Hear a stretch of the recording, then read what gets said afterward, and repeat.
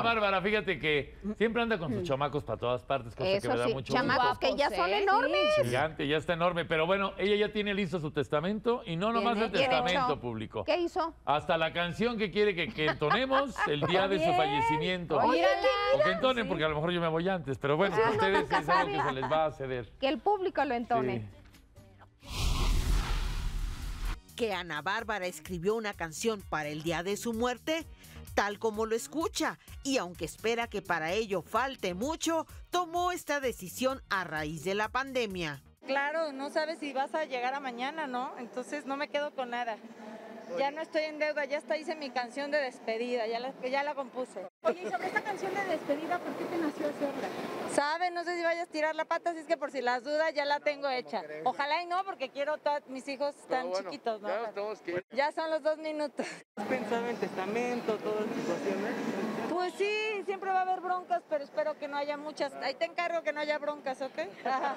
Con esta pandemia no sabes ni cuándo estás, no, no soy pesimista ni mucho menos, pero y más cuando se acercan los micrófonos tanto, ¿no? Que puede ser a mejor así. estamos sanitizados, digo. ¡Satanizados, vámonos! ¡Sanitizados!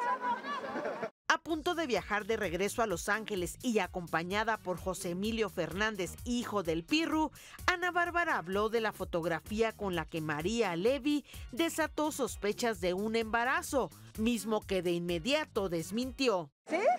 Es una broma, pero ya sabes que. La verdad, ayer la vi y, y- y- y no hablamos de ello. Una fotografía, Ana. Qué divina. Qué hermosa. A ella eh, la adoro y la apoyo en todos los sentidos. Y cuando le preguntaron para cuándo tendrá lugar la boda con su novio Ángel Muñoz, así respondió. Pues ya casi. Mamá, toma, toma tus Previo a la entrevista, Ana Bárbara había prometido atender a los medios. Sin embargo, quiso huir despistadamente por otra puerta. Solo que en cuanto los reporteros se percataron, comenzó la persecución y fue el propio José Emilio quien hizo las veces de guardaespaldas.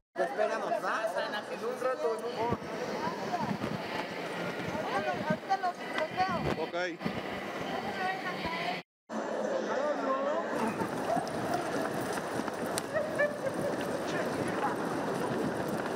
Grábala, grábala. Alta gracia, no seas así. Qué bárbara, Ana Bárbara. Oigan, aguas con el, el distanciamiento social. No hubieran corrido tanto. Este, aquí estamos. Pero sin hacerle tantas preguntas, tenemos prisa. La última, por favor, si no, no llegamos al vuelo.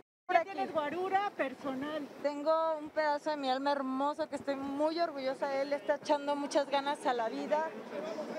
A- a- es un guerrerazo y lo amo con toda mi vida. Finalmente, madre y virtual hijo sellaron la tierna despedida. Pórtate bien, te cuidas, gordo. Córrele para el... ¿sabe cuando lleguen? Sabes que nunca dejamos de pensar en ti. El ventaneo nunca termina. Suscríbete a nuestro canal de YouTube. Ahí encontrarás nuestros programas del día. Completitos, notas del día y contenido especial para ti. No puedes dejar de visitar nuestra lista de contenidos exclusivos. Dale like, suscríbete y forma parte de nuestra comunidad ventanera.